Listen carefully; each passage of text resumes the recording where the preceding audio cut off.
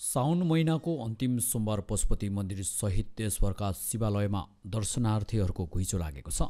साउने सोमबारको पूजा आज गर्न आएका दर्शनार्थी तथा बोलबम यात्रामा निस्केकाहरूका लागि बिहानदेखि नै मन्दिरमा सहज रूपमा दर्शनको व्यवस्था मिलाइएको पशुपति क्षेत्र विकास कोषले जनाएको छ।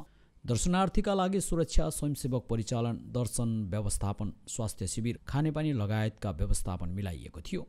साउन महिना र सोमबार भगवान शिवजीको महिना र बार भएकाले पनि यस अवसरमा पशुपतिनाथ मन्दिरमा धेरै भक्तजनको घुइँचो लाग्ने गर्दछ। साउनमा पशुपतिनाथ मन्दिरमा सुन्दरी जलबाट बोलबम यात्रा गरी जल चढाउने भक्तजनको पनि घुइँचो लाग्ने गर्दछ।